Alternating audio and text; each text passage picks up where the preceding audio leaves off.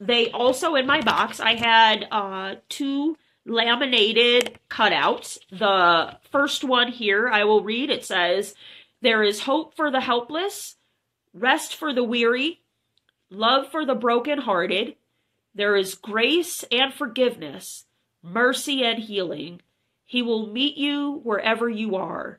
Cry out to Jesus." Amen.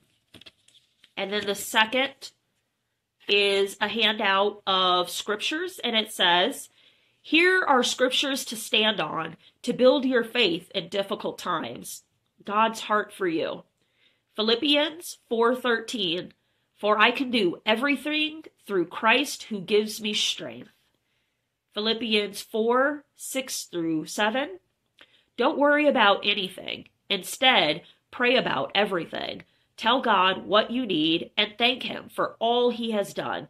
Then you will experience God's peace, which exceeds anything we can understand. His peace will guard your hearts and mind as you live in Christ Jesus. And third, Isaiah 41:10. Don't be afraid, for I am with you. Don't be discouraged, for I am your God. I will strengthen you and help you. I will hold you up with my victorious right hand.